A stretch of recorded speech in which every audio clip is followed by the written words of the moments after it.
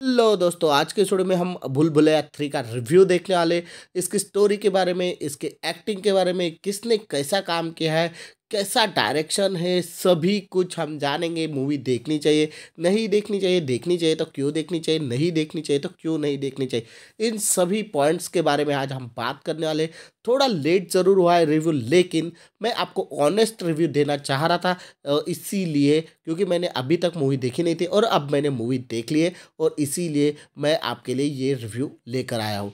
जी हाँ दोस्तों, मूवी की शुरुआत होती है कार्तिक आर्यन, जो रू बाबा के नाम से फ़ेमस हो चुके हैं और काफ़ी लोगों को ठग रहे हैं रूह बाबा बनकर।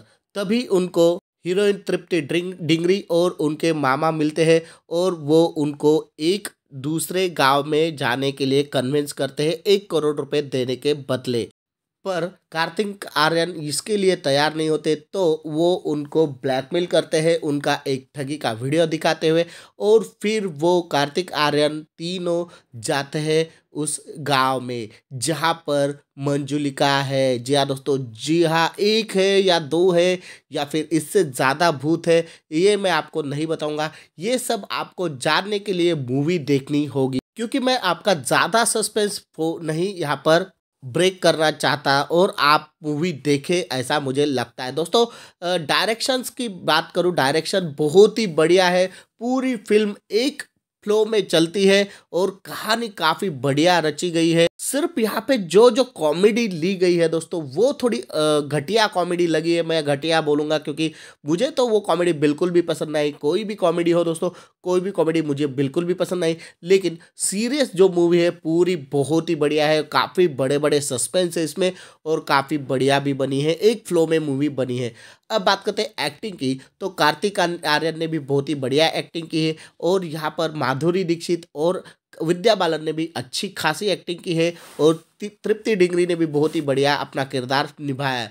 अगर बात करें दोस्तों विद्या बालन और माधुरी दीक्षित की तो इनमें से मुझे लगा है कि यहाँ पर विद्या बालन माधुरी दीक्षित पर हावी होती नज़र आई है। उनकी एक्टिंग माधुरी से थोड़ी ज़्यादा बेहतर लगी है मुझे। कई शॉट ऐसे हैं दोस्तों, जो आपको भूल भुलैया पार्ट वन की याद दिलाएँगे। विद्या बालन के कई शॉट है, जो हमें कॉमन लगेंगे। जो पार्ट वन था, जो अक्षय कुमार का भूल भुलैया है, और ये भूल भुलैया भूल भुलैया थ्री है। इसमें कई जो ऐसे शॉट्स है दोस्तों कॉमन ज़रूर लगेंगे। लेकिन पूरी फ़िल्म बहुत ही बढ़िया बनी है। आप अपनी कुर्सी से हट नहीं पाएँगे, इसकी गारंटी मैं लेता हूँ दोस्तों। लेकिन जैसे कि मैंने बताया कॉमेडी काफ़ी घटिया है। कॉमेडी में मुझे कोई भी यहाँ पर तथ्य नज़र नहीं आया तो कॉमेडी पर आपको इग्नोर करना पड़ेगा। अगर बात करें म्यूज़िक की तो कोई भी गाना ऐसा नहीं लगा दोस्तों, जो कि आप गुनगुना सकेंगे और आपको याद रहेगा। तो म्यूज़िक के बारे में भी मैं ज़्यादा कुछ अच्छा नहीं कहूँगा, लेकिन मूवी का डायरेक्शन, मूवी की एक्टिंग मूवी का सस्पेंस वगैरह थ्रिलिंग वगैरह, सब कुछ बहुत ही बढ़िया है। यहाँ पर आप ज़रूर इस मूवी को जा जा थिएटर में जाके देखने लायक ये मूवी ज़रूर बनी है। मुझे जो पार्ट पसंद आया दोस्तों मूवी का एंड जी हाँ दोस्तों मूवी का एंड बहुत ही बढ़िया हुआ, बहुत ही बढ़िया सस्पेंस रखा गया था और जो कि आखिर में जाके खुलता है। फिर से बता दूँ दोस्तों मूवी जो भूल भुलैया पार्ट वन थी, उसी की तरह है और सभी उन्होंने जो सस्पेंस है, पूरे अच्छे से खोले हैं और काफ़ी अच्छे से समझाए हैं।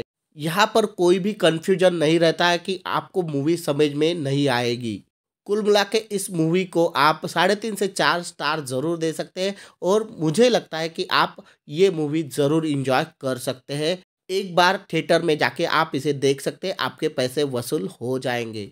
इस मूवी की स्टोरी भी काफ़ी अच्छी है दोस्तों और मुझे ज़रूर लगता है कि ये सिंघम अगेन को टक्कर देने वाली मूवी साबित होने वाली है।